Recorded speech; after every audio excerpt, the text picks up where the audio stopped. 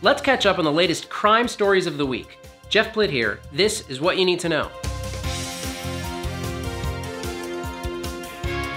In China, a new app made by the government asks citizens to report anyone who has mistaken opinions.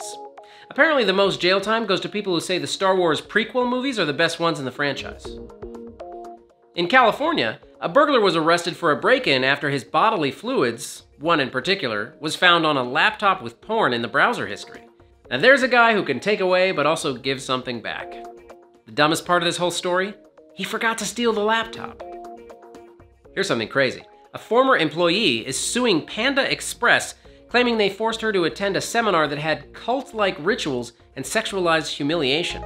Experts say this Panda Express is the creepiest express since the Polar one. Finally, in Florida, a crazy woman put an Uber driver into a crippler crossface hold and nearly choked him out. No word yet on whether the referee in the car saw him tap or not.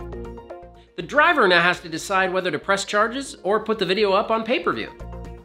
That's it for now. Please do not like, share, or subscribe. I want my videos to remain a secret, so don't show them to anyone else. Thanks for watching, and see you next time on What You Need to Know.